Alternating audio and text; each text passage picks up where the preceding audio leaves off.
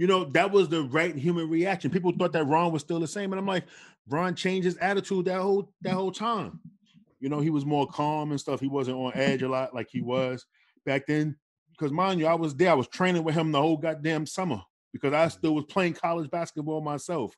So to to for people to just have this misconception of my brother, that bothers me. You know I mean? They say he's crazy and this, that, and other. Like that really bothers me because that's not even true. You know, like when people try to, you know, make fun of his name and stuff, like I always had an issue with it. That's why I didn't like people like Jon Barry when he, you know, called them Metta World Peace and stuff. I'm like, yo, first of all, y'all being disrespectful with this whole calling my brother crazy thing. You know what I mean? Like the art, you know, crazy Artest, this, that, and the other. You know, you disrespecting my mother, you disrespecting my father, everybody that has the last name Artest. We're not, we're a good family.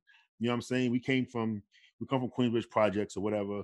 We grew up in the, you know, in the in the welfare system and stuff like that. And you know, Ron made something out of himself. And then like it's always like, I'm gonna be real with you, man. And and I don't like when when um you know when when there's white people on the on the on the social media or on TV and they and they characterize this man as you know they say crazy and stuff like that like who are you to talk to call somebody crazy because somebody doesn't conform to the stuff that you want that you think is right. Even with the situation with Kyrie Irving right now, he's going through that. You know what I'm saying?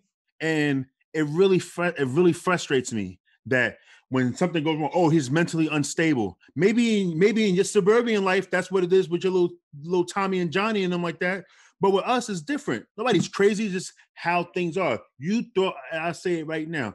You throw something in my face, I'm kicking your ass. Simple as that. And that's how everybody reaction should be. You don't throw nothing in nobody's face. It was beer that hit Ron or whatever. Somebody could have peed in a cup of urine, or we could have been urine in a cup or something like that. But yet he got to maintain some type of, you know, you know, maturity issue or whatever because he's a millionaire. Come on, man. Mm. Yes, come on, please please. What happened? What happened when Will Smith when the guy tried to kiss Will Smith on the mouth on that video that's on YouTube? He smacked the shit out of him. You know what I'm saying?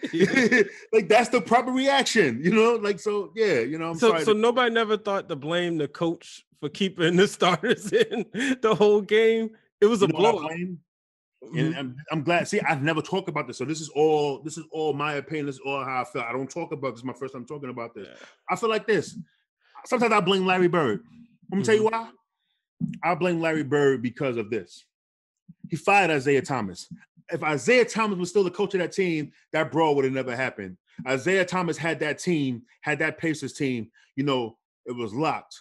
But no disrespect to Rich, Rick Carlisle, really good coach. But he didn't have the same type of, you know, feeling with that team. He was you a new coach too at the time. He's a great, yeah, he's a great coach. He's a great coach. But like newer as coaching, like yeah, still green in that yeah. space, if I'm not mistaken. Yeah, and as Isiah Thomas, you know, he know how to talk to certain players. You know, what I'm saying he know how to get he know how to get to the players because he was a he was a player himself. Rick Carlisle was a player himself too as well.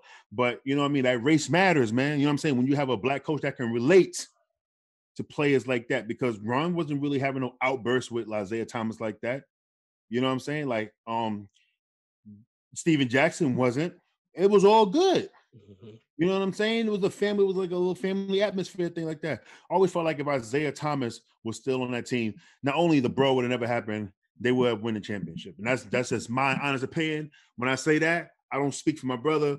This is Daniel speaking for Daniel on that. Yeah. So whatever backlash I get from this podcast, I'm I'm willing to take it.